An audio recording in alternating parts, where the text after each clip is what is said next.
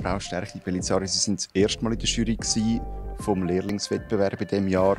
Wie war der Gesamteindruck von den Projekten, die das mal eingereicht worden sind?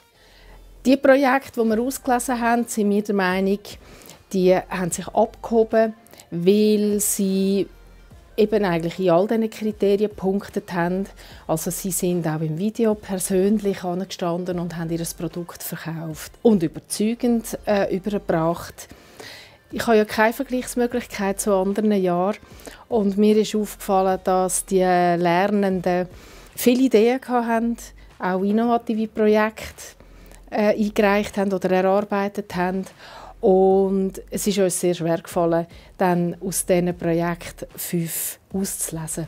Meiner Meinung nach der grosse Vorteil, wo so ein Wettbewerb oder so ein Anlass für die Lernenden ähm, hat, ist, die Lernenden haben die Möglichkeit, ein Projekt, das jetzt nicht mit dem Berufsalltag zusammenhängt, sondern wirklich etwas Zusätzliches das einmal zu erleben und wirklich auch einmal selber müssen organisieren das ist sicher eine sehr wertvolle Erfahrung für die Lernenden. Ja, Nils Hindermann, du hast äh, den Jurypreis gewonnen, da beim Lehrlingswettbewerb Zürich-Oberland. Wie fest hast du dich gefreut? Ich habe mich sehr gefreut, weil ich es überhaupt nicht erwartet habe. Jetzt, du hast ein Covid-Game entworfen. Wie bist du auf die Idee gekommen? Zuerst war die Idee, ein Brettspiel aus dem zu machen, also mehr auf eine lustige Art. Und dann wollte ich es noch digitalisieren, weil an dem habe ich am meisten Spass getan. Also man kann zwei, drei oder vier Spieler können spielen dort. Und jeder Spieler hat vier Spielfiguren. Man muss halt vom Start bis zum Ziel kommen und dazwischen wird man halt meistens aufgehalten. Ja, Elisa Spano, du hast den Jurypreis gewonnen vom äh, Lehrlingswettbewerb. Was bedeutet dir die Auszeichnung? Ähm, ich bin sicher stolz auf mich. Ich habe noch nie im Lehrlingswettbewerb mitgemacht. Ja, du hast einen eigenen Schreibtisch entworfen und dann auch hergestellt. Ja, wie bist du auf die Idee gekommen, das Projekt zu machen?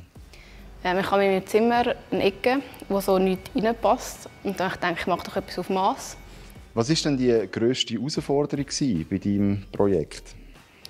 Ich denke Planung, weil ich noch nie etwas geplant so von A bis Z. ich habe aber auch sehr viel gelernt bei allem für die IPA, also Abschlussarbeit, ist sicher eine sehr gute Erfahrung. Das ist eigentlich genau das Gleiche, was man dann auch noch mal machen muss. Einfach ein bisschen besser und ausführlicher. Ja, du hast eine Modellflugzeugturbine gemacht für den Wettbewerb. Was ist da die grösste Herausforderung bei deinem Projekt? Ja, das Ganze ist eigentlich die Schwierigkeit ist man halt, dass man alles berücksichtigt, wie halt das Material temperaturbeständig ist, dass das Ganze sehr schnell anfängt zu drehen und dass da wirklich nichts passiert. Das ist eigentlich wie das gleiche Prinzip wie beim Verbrennungsmotor. Also das Gas verbrennt sich oder der Treibstoff dehnt sich aus und nachher muss er wie hinten raus, weil vorne wird halt, kommt immer neue Luft rein und nachher wird die Luft sozusagen hinten rausgedrückt. Und das, da hinten hat es so wie ein Rotorblatt und das führt dann dazu, dass das Ganze am Drehen bleibt. Und vielleicht noch als letztes, es hat ja auch ein Preisgeld gegeben. Weißt du schon, was du mit diesen 500 Franken machst? Da habe ich mir jetzt noch nicht so große Gedanken gemacht, aber vielleicht eine Skiausrüstung für den Winter, weil ich fahre sehr gerne Ski.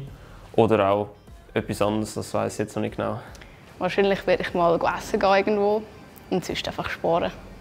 Da habe ich noch absolut keine Vorstellung, da ich nicht damit gerechnet habe, dass ich etwas gönne. Also das muss ich mir noch überlegen.